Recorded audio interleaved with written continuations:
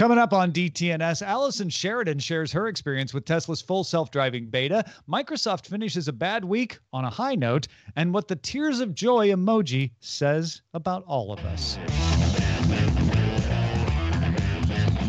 This is the Daily Tech News for Friday, December 3rd, 2021, in Los Angeles. I'm Tom Merritt. And from Studio Redwood, I'm Sarah Lane.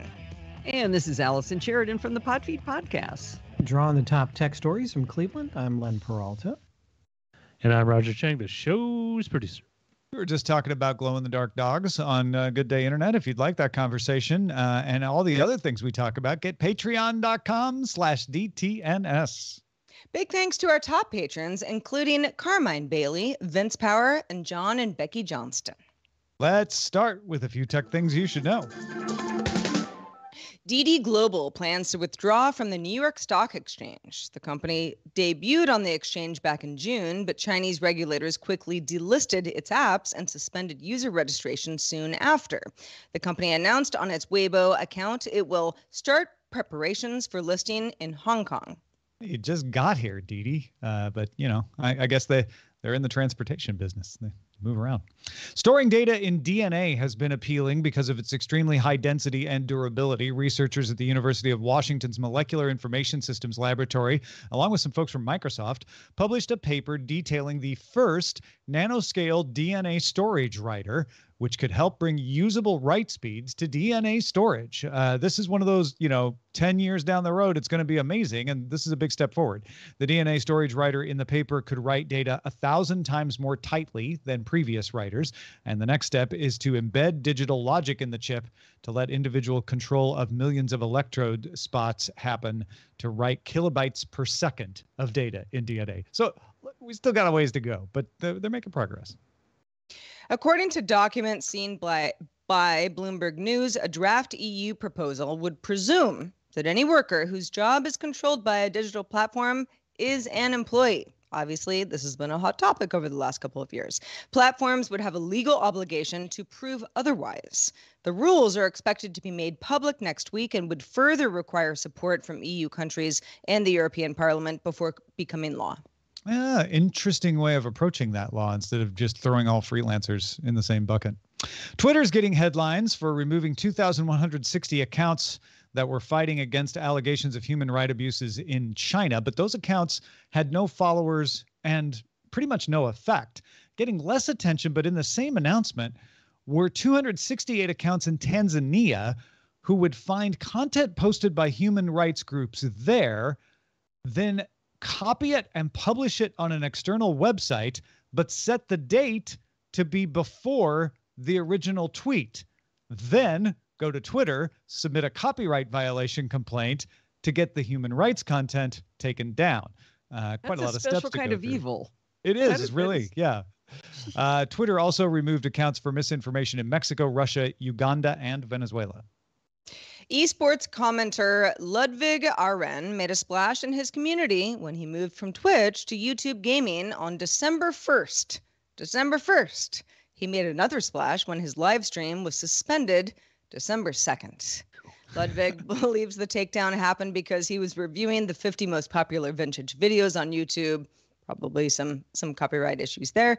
And the content ID seems to have triggered shortly after playing a few seconds of Baby Shark I'm sorry in advance for even saying that out loud. Man, he expects yeah, to remove live streaming on Saturday. Re- resume, you mean, right? Oh, it, you know, they should take down Baby Shark. you said that's your solution. Don't take down Ludwig, take down Baby Shark. All right, let's uh, talk a little more about uh, NVIDIA. Does not look like it's going to get armed. Uh, in September 2020, NVIDIA announced a deal to acquire uh, chip design maker ARM. That deal isn't done yet. And at this point, looks like it may not happen at all. Thursday, the United States Federal Trade Commission voted four to nothing across party lines. Let that sink in. To file suit in its administrative court to block NVIDIA's proposed acquisition of ARM. The suit alleges that the deal would give NVIDIA anti competitive control of chip technology and designs needed for competing chips. The FTC believes that would then result in higher prices for consumers, reduced choice, and stifle innovation in new technologies for things like data centers and cars.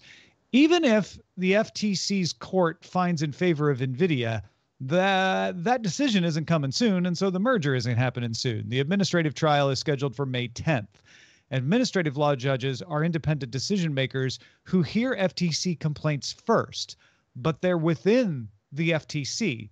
Their decisions can only be appealed to the full FTC panel first, then they go on to the US Circuit Court and enter the more traditional court system. So this could go on for a while. The Wall Street Journal points out that chip company mergers are not popular these days. The US blocked Broadcom's acquisition of Qualcomm back in 2018. Same year, China nixed Qualcomm's own acquisition of NXP Semiconductor. NVIDIA is based in the US. ARM is based in England. It's owned by Japan's SoftBank, but it's based in England. And they are under investigation around the world. Uh, the UK launched an investigation of the deal in November on competition and national security grounds. We mentioned that on the show then. The EU began an investigation in October of whether the merger would restrict access to ARM's technology. And China is also reviewing the deal. So ARM does the architecture and the and the the design of the architecture. They don't actually make any chips. So w- what do you picture the the concern is for Nvidia owning the architecture? Yeah, I think that's kind of fundamental to the concern, right? Uh, if people don't realize what what Allison's referring to is that when you talk about an ARM chip, it's never really an ARM chip. It's a Qualcomm chip, or it's an Apple chip, or it's a Samsung chip, but it's using ARM's technology might be its design it might just be some of its uh, its architecture uh, but it's made by somebody else. Uh, it's even likely to be partially designed by somebody else. Apple just kind of licensed the instruction set from arm and then designs the chip itself. So that's what they're concerned about allison is this is the design switzerland of the chip world and hmm. arm designs are on the ascendancy. Intel is kind of you know th- there's a question about how much how much it can grow in the future. So if nvidia were to control arm and nvidia also makes chips itself then there's a concern that well now it's no longer switzerland and playing equally with everybody it might prefer nvidia. So anybody who makes chips wouldn't be allowed to buy it probably. Well i don't, you know i mean who knows? We, we, we don't even know if nvidia will be allowed. Maybe they will be. Maybe maybe they'll they'll win their court case. Uh, but that if you make chips it sounds like you're going to have a harder time getting approval uh, the way all of this is going. I mean my my initial question when the story broke uh, yesterday afternoon uh, after our show yesterday was sort of like I don't personally care if NVIDIA buys ARM or not. I don't need that to be a win for NVIDIA. I don't work there. But okay, if that is something that can't be done, is that a bigger win for consumers? Eh, you know, as a consumer, I want the best chip architecture I can get. Yeah, and, right. You know, I and I'm I, I there are certain companies that I that I buy from more than others, but there are other companies who are also benefiting from ARM architecture. So, is this I mean, who's besides Nvidia itself, who is rooting for Nvidia Nvidia here? Well, SoftBank is for because well, they sure. want the money. Okay. Yes. Uh, everybody. Sure. Everybody but, on that side. No, that's a good point. Uh, Nvidia would argue that ARM will do better as a part of NVIDIA because NVIDIA can make sure to fund them properly. NVIDIA is doing great as a company, and ARM can only get better with NVIDIA's resources behind it. And NVIDIA has said over and over, we promise to continue to offer ARM uh, licenses on the same level that they're offered now, if not better. Uh, they they say they have no intention of shutting it off. Uh, and this is a change in the regulatory environment. In the past, it would have been, well, let's get that in writing, NVIDIA. Let's make sure you can't uh, shut people out from ARM, but then we'll let you have it.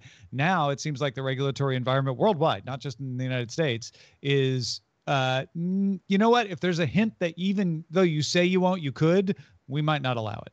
And mm. that could be bad for ARM if ARM can't survive on its own. If if ARM is not able, you know, to to make a go of it on its own, which, you know, the fact that SoftBank wants to get rid of it means that SoftBank doesn't see it as a particularly lucrative part uh, of its strategy right now. I don't think ARM is suffering or anything, but you know that that can happen where if you don't get sold, then you start yeah. to have problems because you don't have the resources. Well, let's talk about watches, shall we? Smartwatches, in fact. Insider has seen documents and talked to sources who say that Google plans to launch a smartwatch next year.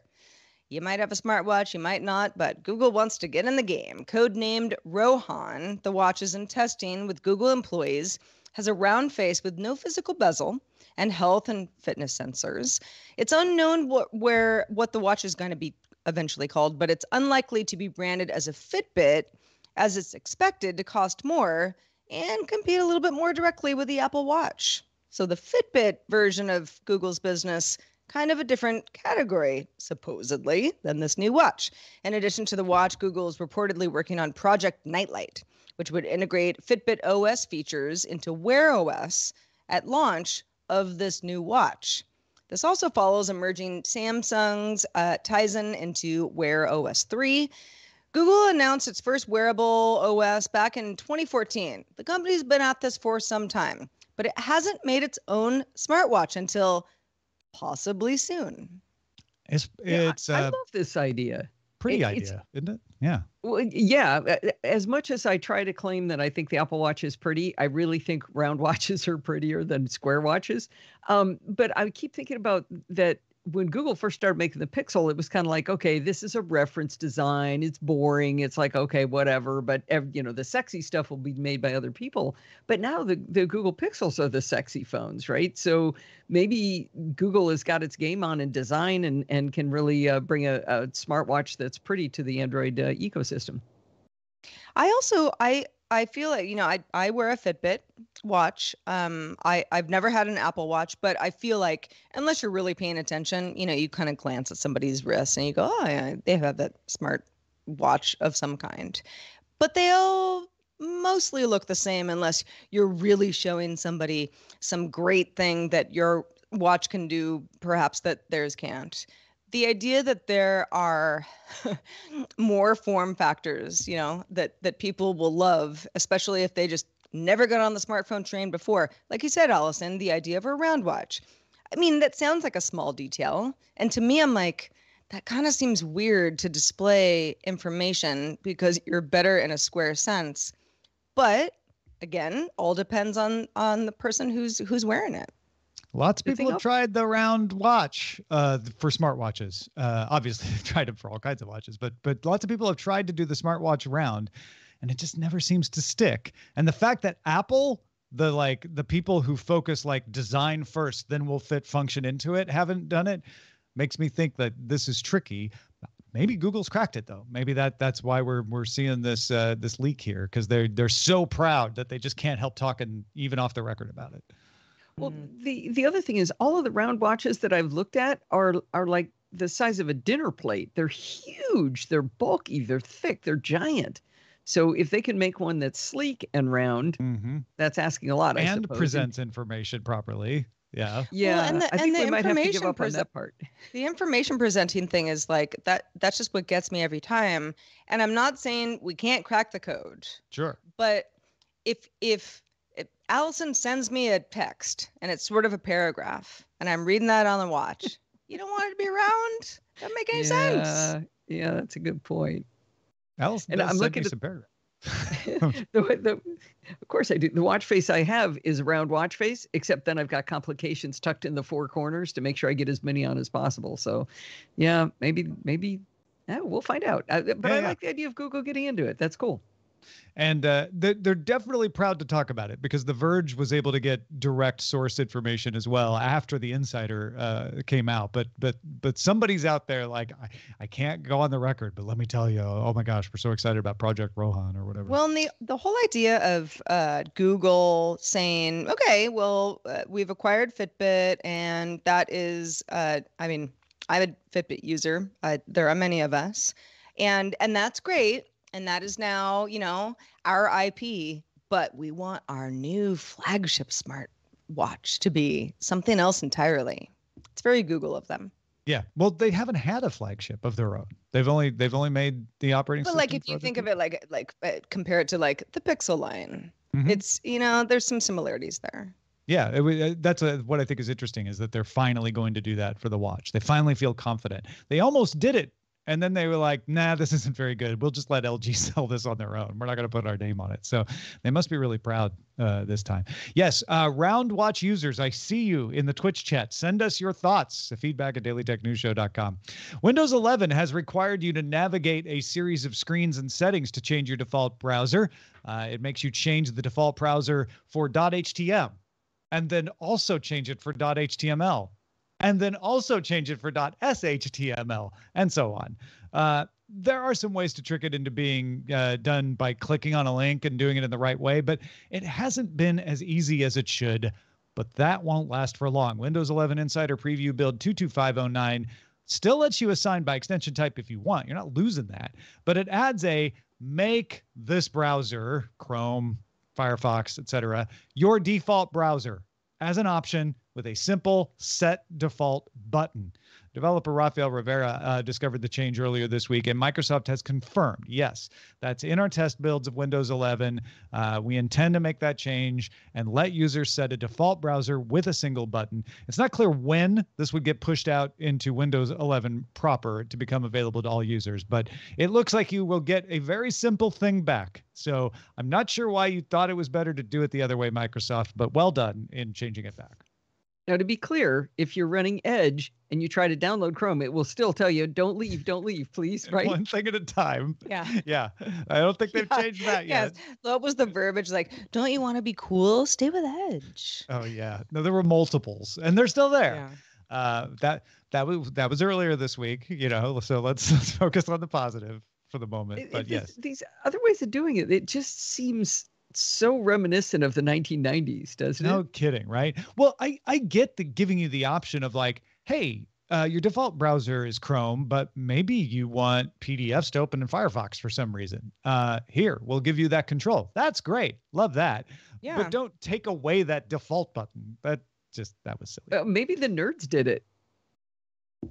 I kind of think maybe that's what ha- actually happened in this case, right? Yeah. They're like, oh, we'll just give you all the controls. We don't need a default button then, right? Mm, yeah, we Eh, we still did. Turns out, and and they're react they're responding to that. So good for them. Hey, what do you want to hear us talk about on the show? You got a, a link? We we've been getting great links in our subreddit. Uh, Open Bio's in there giving good stuff. KV's giving good stuff. We appreciate everybody doing that. Uh, get into the subreddit, submit stories, and vote on them at dailytechnewsshow.reddit.com. Well, known Tesla enthusiast Allison Sheridan uh, worked very hard to get into the beta for Tesla's full self driving software and has thoughts. You can read them at podfeet.com, uh, but we wanted to have her on to give us some of the top line thoughts right here. Uh, there are only about 12,000 beta testers out there, so let's start with what you had to do to qualify, Allison. There was an algorithm that you had to make happy. Is that right? Yeah, in order to try to get into the beta, you have to turn on this thing they call safety score. And for I think it was 30 days, they or 30 day rolling period, they the car actually judges how well you're driving. And the people who got 100 out of 100 during the first period, they got the beta test first. And then they went to the 99s. They're starting to roll it out to the 98s right now.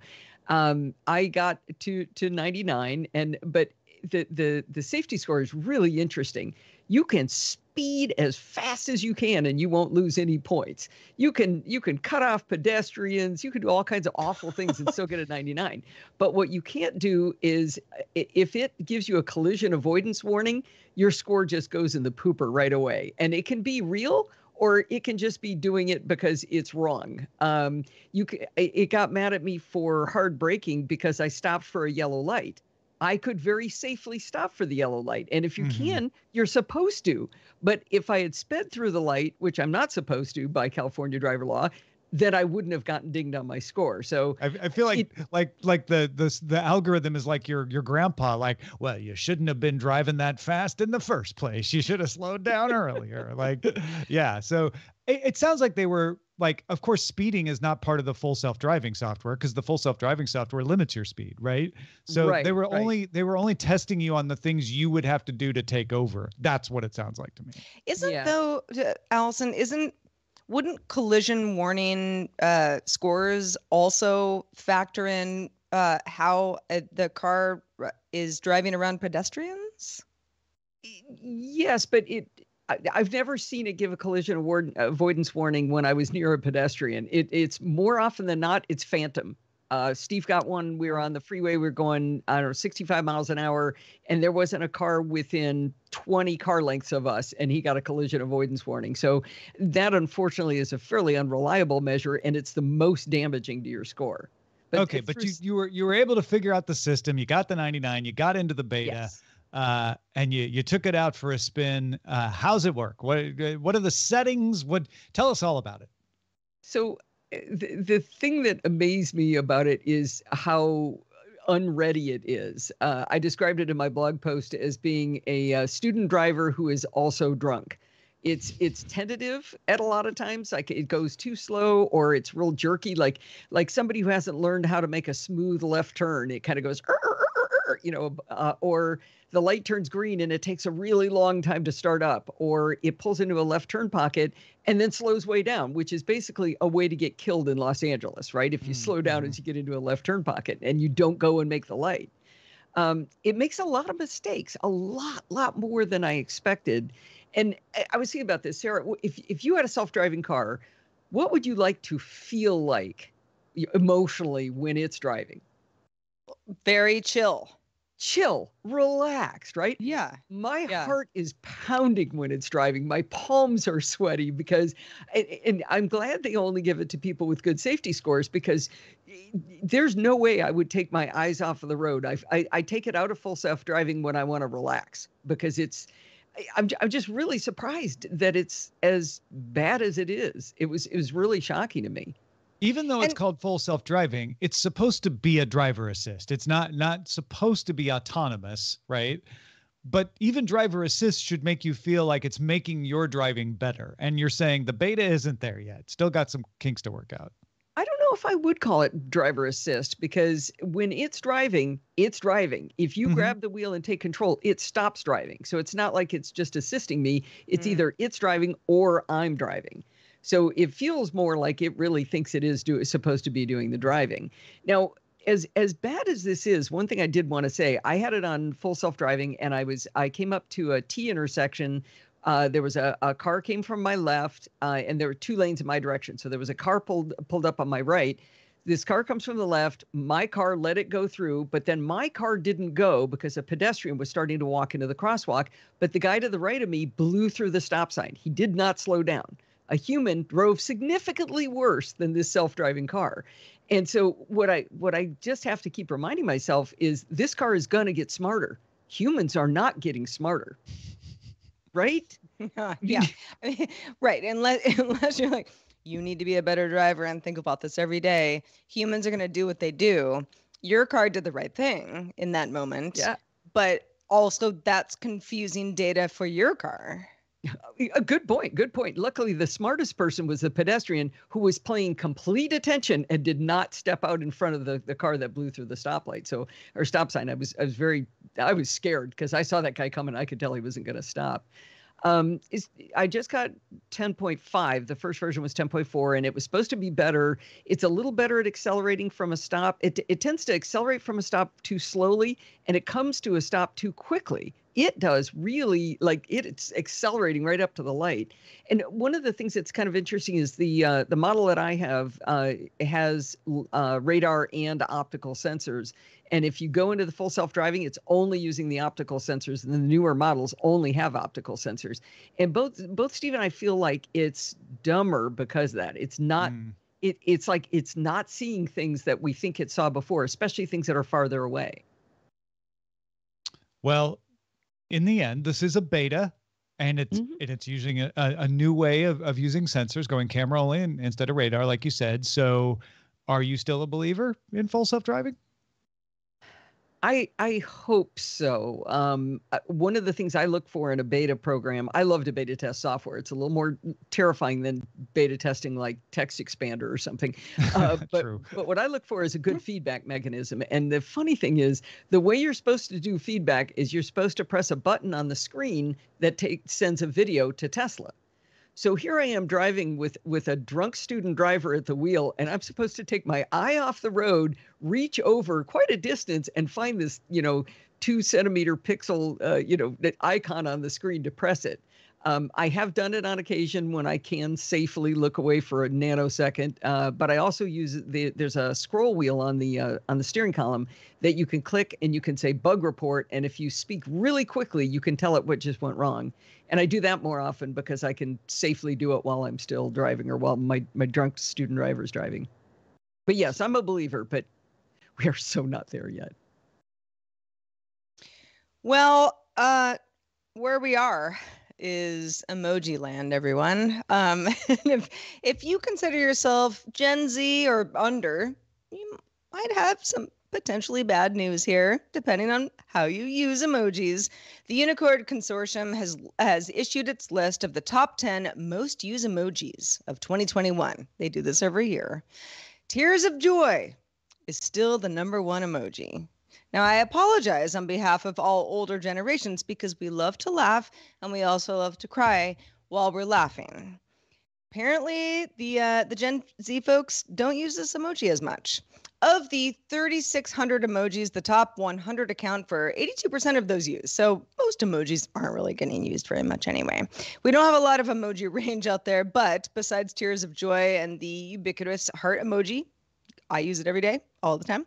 Here's what continues to trend thumbs up sign, loudly crying face, folded hands, also known as the prayer emoji, face blowing a kiss, smiling face with three hearts, smiling face with heart shaped eyes, smiling face with smiling eyes.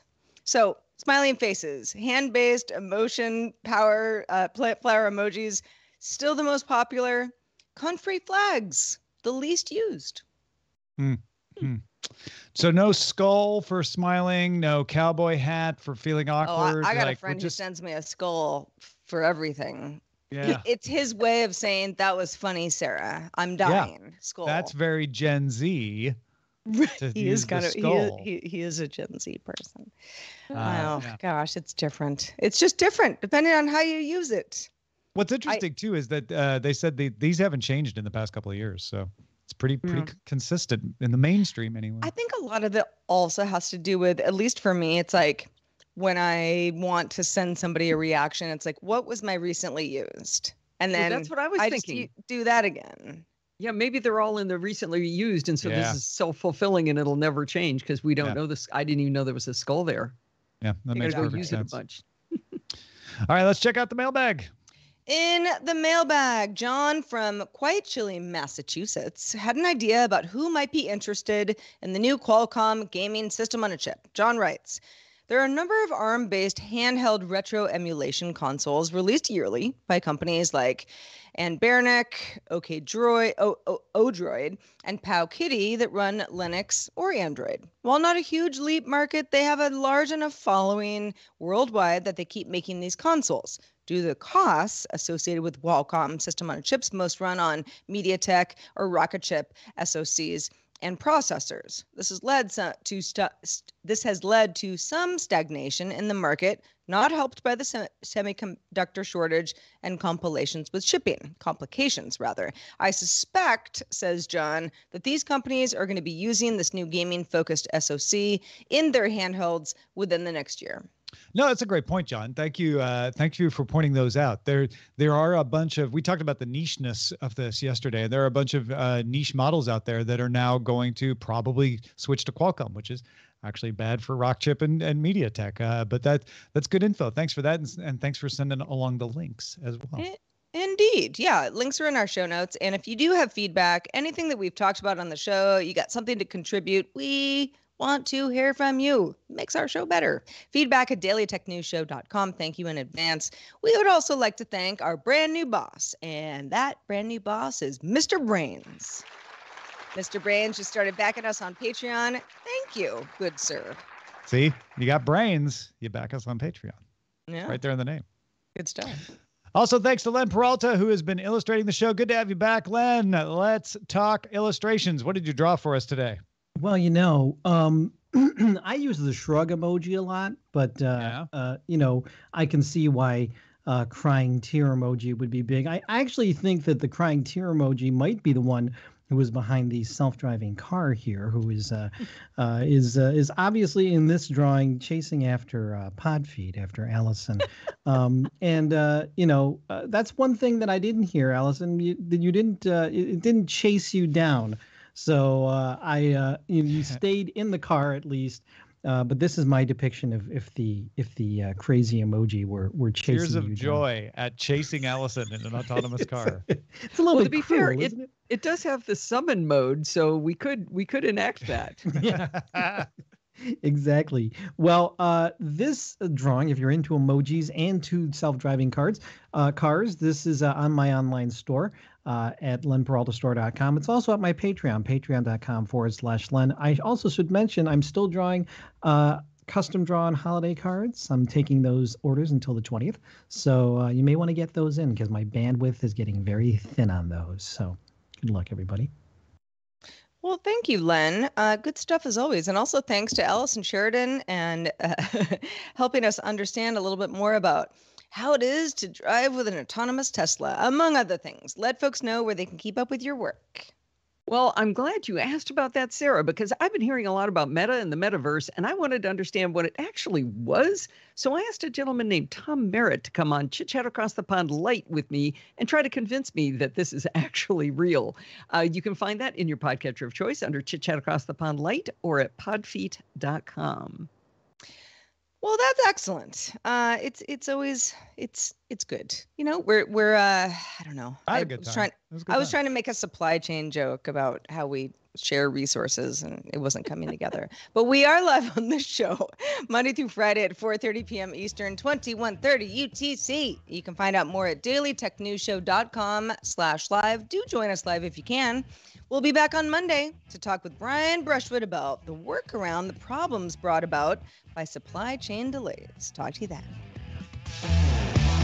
This week's episodes of Daily Tech News Show were created by the following people. Host, producer, and writer Tom Merritt, host, producer, and writer Sarah Lane, executive producer and booker Roger Chang, producer, writer, and host Rich Stroffolino, video producer, Twitch producer Joe Kuntz, associate producer Anthony Lemos, Spanish language host, writer, and producer Dan Campos, news host, writer, and producer Jen Cutter, science correspondent Dr. Nikki Ackermans, social media producer and moderator Zoe Deterding, our mods Beatmaster W. Scottus One, BioCow, Captain Kipper, Jack Shid, Steve Guadarrama, Paul Reese, Matthew J. Stevens, and J.D. Galloway. Mod and video hosting by Dan Christensen. Video feed by Sean Way. Music and art provided by Martin Bell, Dan Looters, Mustafa A, Acast, Creative Ast Arts, and Len Peralta. Live art performed by Len Peralta. Acast ad support from Trace Gaynor.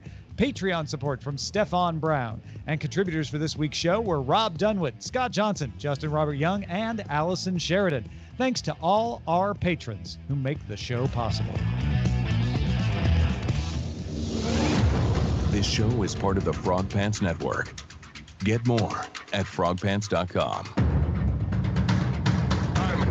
Hopes you have enjoyed this program.